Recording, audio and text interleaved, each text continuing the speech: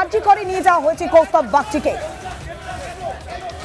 গতকালই ব্যারাকপুরের বাড়িতে দীর্ঘক্ষণ তল্লাশি, তারপরে জিজ্ঞাসাবাদ, তারপরে গ্রেফতার কংগ্রেস নেতা তথা আইনজীবী কৌস্তব বাগচি তার বিরুদ্ধে একের পর এক জামিন অযোগ্য ধারায় মামলা রুজু করা হয়েছে। এই মুহূর্তে আর্জি করে তাকে নিয়ে যাওয়া হয়েছে শারীরিক পরীক্ষা করবার জন্য।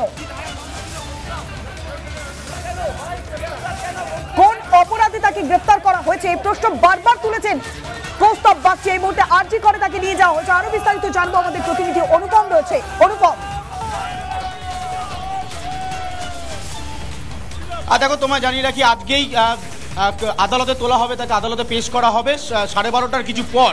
কিন্তু তার আগে তার মেডিকেল রিপোর্ট তৈরি করতে হবে পুলিশকে। সে কারণেই আরজিকর মেডিকেল কলেজে এই মুহূর্তে কংগ্রেস নেতা, আইনজীবী কৌস্তব বাগচিকে নিয়ে আসা হয়েছে এবং কৌস্তব বাগচির কাছে আমাদের স্পেসিফিক প্রশ্ন ছিল যে সাংবাদিক বৈঠক তিনি করেছিলেন, তার পরিপ্রেক্ষিতে তার গ্রেপ্তার কিনা এবং যিনি অভিযোগকারী তিনি একজন পুরুষ। কিন্তু তাকে যে যে ধারায় আইপিসিতে মামলা করা হয়েছে, তাতে দেখা যাচ্ছে শ্লীলতাহানির অভিযোগ। কৌস্তব বাগচি প্রশ্ন তুলছেন যে তিনি একজন আইনজীবী, তিনি বলছেন একজন পুরুষ অভিযোগ করছে। সেখানে শ্লীলতাহানির অভিযোগ কীভাবে দাঁড় করায় পুলিশ, পুলিশের এই ভূমিকা নিয়ে প্রশ্ন তুলছেন। আর তার বক্তব্য যে মমতা বন্দ্যোপাধ্যায় তিনি মাতৃসম, আর কৌস্তব বাগচি তিনি পুত্রসম। স্বাভাবিকভাবে মমতা বন্দ্যোপাধ্যায় ভয় পাচ্ছেন তাকে। শাসকের ষড়যন্ত্র বারবার এই অভিযোগ কৌস্তব বাগচি করছেন এবং এই মুহূর্তে তার মেডিকেল করানো হচ্ছে। আজকেই তাকে ব্যাংশাল আদালতে তোলা হবে এবং পুলিশের তরফে রিমান্ডে চাওয়া হতে পারে বলে আপাতত খবর রয়েছে। তবে সেক্ষেত্রে দাঁড়িয়ে যে ইনভেস্টিগেশন প্রক্রিয়া, যে ধারায় মামলা দেওয়া হয়েছে, একশো কুড়ির বি ষড়যন্ত্রমূলক ধারা রয়েছে। পাশাপাশি একাধিক জামিন অযোগ্য ধারায় যেমন মামলা রয়েছে, জামিন যোগ্য ধারাতেও মামলা রয়েছে। স্বাভাবিকভাবে আজকে পুলিশ কাস্টাডি চাওয়া হয় কিনা সেদিকে দেখা হবে। আর আজকে কোর্টে কৌস্তবের পক্ষে যে সমস্ত আইনজীবী দাঁড়াবেন, তাদের একটা বড় অংশের বক্তব্য যে কলকাতা হাইকোর্টের একটা বড় অংশের আইনজীবীরা কৌস্তবের পাশে দাঁড়াচ্ছে। কৌস্তব কংগ্রেস নেতা শুধু নয়, তিনি একজন আইনজীবী। সেক্ষেত্রে দাঁড়িয়ে একজন আইনজীবীকে ফর্টি ওয়ান এ নোটিশ ছাড়া কীভাবে পুলিশ অনৈতিকভাবে গ্রেপ্তার করল, পুলিশের এই ভূমিকা নিয়ে বারবার তার আইনজীবীরা প্রশ্ন তুলছেন এবং সুপ্রিম কোর্টের একটা ভার্ডিককে তারা সামনে আনছেন। এনে বলছেন যে সুপ্রিম কোর্টের একটা অর্ডার রয়েছে, যেখানে কোনো ধরনের সাত বছরের নিচে কোনো জেল হলে তাকে যখন গ্রেপ্তার করা হয়, তখন তাকে ফর্টি ওয়ানে নোটিশ করতে হয়, তাকে হাজিরা দেওয়ার কথা বলা হয়, হাজিরা তিনি এড়িয়ে গেলে, তারপর তার বিরুদ্ধে অভিযোগ নিয়ে এবং তাকে গ্রেপ্তার করা হয়। সেটা কোনোটাই বটতলা থানা মানেনি। সম্পূর্ণটাই শাসকের ষড়যন্ত্র কৌস্তব বাগচি এবং তার আইনজীবীরা বলছেন। আরও একবার আরজিকর মেডিকেল কলেজে রয়েছি। এই তুমি দেখতে পাচ্ছ সেই ছবি যেখানে ইতিমধ্যেই কংগ্রেস নেতা আইনজীবী কৌস্তব বাগচিকে একেবারে অনুপম অনুপম জানতে চাইব তাকে যে নিয়ে কৌস্তব যখন হাসপাতালে তাকে নিয়ে যাওয়া হয় আরজি করে যখন নিয়ে যাওয়া হয় তখন ঠিক কি বললেন? আরও একবার তোমার কাছে অনুপম জানতে চাইব। কি বলছেন কৌস্তব বাগচি? গ্রেফতারির তো দু ঘণ্টা আড়াই ঘণ্টা পার হয়ে গিয়েছে। আটটার সময় গ্রেফতার করা হয়েছে অনেকটা সময় পার হয়ে গিয়েছে। এবার কি বলছেন কৌস্তব?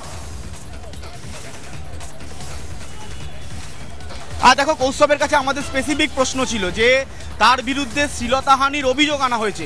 অর্থাৎ যে ধারায় মামলা করা হয়েছে, শ্লীলতাহানির অভিযোগ কৌস্তব বাগচিকে বার করা হবে সেই ছবি দেখো। এর পাশাপাশি ষড়যন্ত্রের অভিযোগ রয়েছে কৌস্তব বাগচির বিরুদ্ধে। কিন্তু কৌস্তব বাগচি কংগ্রেস নেতা, আইনজীবী তার স্পেসিফিক বক্তব্য, যিনি অভিযোগকারী, যিনি থানায় অভিযোগ করেছেন, তিনি একজন পুরুষ। তাহলে কোন প্রেক্ষিতে এই মুহূর্তে বটতলা থানা তার বিরুদ্ধে মামলা করল এবং এই শ্লীলতাহানির অভিযোগ দিল? এক দ্বিতীয়ত তার বিরুদ্ধে ষড়যন্ত্রের অভিযোগ। তিনি বলছেন, তিনি কি এমন ষড়যন্ত্র করেছেন যার বিরুদ্ধে তাকে গ্রেপ্তার করা হবে? তিনি ষড়যন্ত্র করেছেন, তিনি বলছেন যে এই ষড়যন্ত্র শাসকের ষড়যন্ত্র। মমতা বন্দ্যোপাধ্যায়ের বিরুদ্ধে তিনি মুখ খুলেছেন, রাজ্যের মুখ্যমন্ত্রী তৃণমূলের সুপ্রিমো, তার বিরুদ্ধে মুখ খোলাতেই কৌস্তব বাগচিকে গ্রেপ্তার করা হয়েছে বলে তার প্রাথমিকভাবে তার প্রতিক্রিয়া তবে তার হয়ে তার আইনজীবীরা সওয়াল জবাব রাখবেন। আজকে তারা বেল পেয়ার করবেন তাকে আজকে ব্যাংশাল আদালতে তোলা হবে এবং এই মুহূর্তে কৌস্তব বাগচির মেডিকেল খুব সম্ভবত হয়ে গিয়েছে তাকে বার করার প্রক্রিয়া চলছে। এই মুহূর্তে পুলিশ রয়েছে এবং তুমি দেখতে পাচ্ছ আরজিকর আরজিকর হাসপাতালে আমরা এই মুহূর্তে দাঁড়িয়ে রয়েছি। আর কিছুক্ষণের মধ্যে তাকে এখান থেকে বের করে নিয়ে যাওয়া হবে। নিশ্চিতভাবে তুমি যখন এই কথা বলছো আমরা দুটো ছবি একসঙ্গে দেখাচ্ছি। তোমার দিকেও আমরা নজর রাখছি।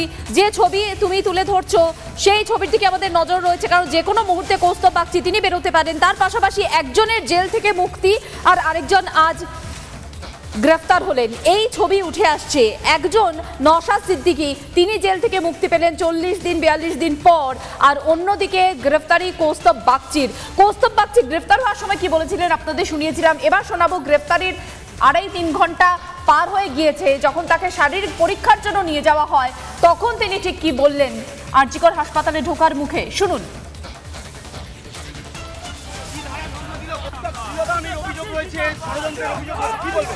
একটা পুরুষ লোক জানি কমপ্লেনের তার আবার স্ত্রীলতাহানি হয়।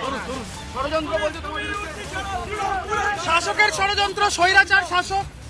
স্বৈরাচার শাসক তার কাজ করেছে। জবাব কোর্ট আর রাস্তায় পাবে। অ্যাবসলিউটলি বোগাস শাসকের প্রতিহিংসা পরায়ণ রাজনীতি। আবার বলছি মাতৃসম মুখ্যমন্ত্রী পুত্রসম কৌস্তব বাগচিকে ভয় পেয়েছে। আবার বলছি।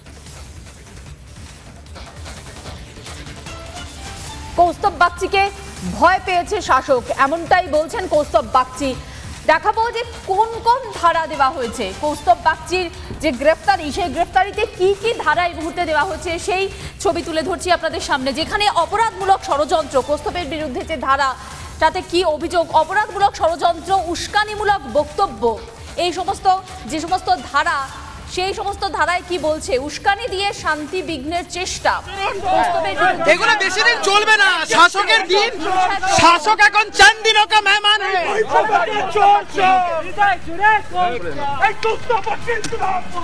এই মুহূর্তে কৌস্তব বাগচিকে বার করে নিয়ে যাওয়া হলো আরজিকর মেডিকেল কলেজ হাসপাতাল থেকে।